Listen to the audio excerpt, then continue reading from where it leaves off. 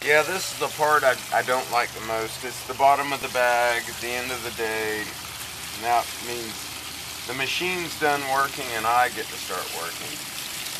But uh, so far so good. We found a lot of pretty rocks. I actually even found a, a seashell or clamshell, which was interesting.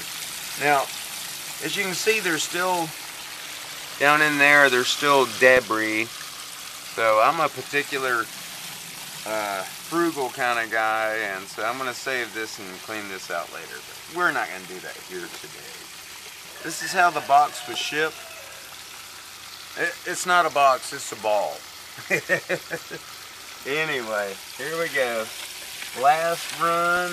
This is the rocks that pretty much came out of said box, ball. A few little dreamets here and everything else is fine concentrates. And we're gonna see what that is. So all right let's uh do a final hand rinse. Get the heavies off. My machine runs at such a low water velocity that it's in other words I'm not in any hurry and neither is it. We'll just do a little top hand scrape on the riffles you can hear them rocks bouncing downstream. Alright, clean up that edge. Let's unplug it and see what the... Isn't that crazy? Electricity and water. Who'd have thunk? Let's let it settle down. Look at all that black sand. That's got to be a good sign. Definitely. Now this is my secondary redundant sluice.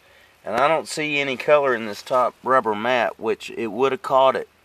So I'm thinking anything and everything is caught in that first sluice box, which I built out of a gutter. Or actually, it's a, a cap for an industrial building. I hand welded this uh, riffle uh, assembly. I think it put me back $10 in metal parts. Uh, basically, ingenuity will ingenuity will find the way. Uh, what is it? Uh, mother necessity, necessity is the mother of invention. There you go. And I'm looking down here, and oh my goodness, what? Oh, yeah, I guess I put a little bit too much soap in there. Uh, one drop will do. Not what I did, which was a full skeet. So okay, but let's hope this carpet's caught up a bunch. Uh, I'm not seeing anything on top as of yet, but that doesn't mean anything now, y'all. So let's uh let it settle down for a minute, and we're we're gonna take a break and get everything set up for the from here to the bucket scene. So thank you. You filming her? Mm hmm You recording her? Yep.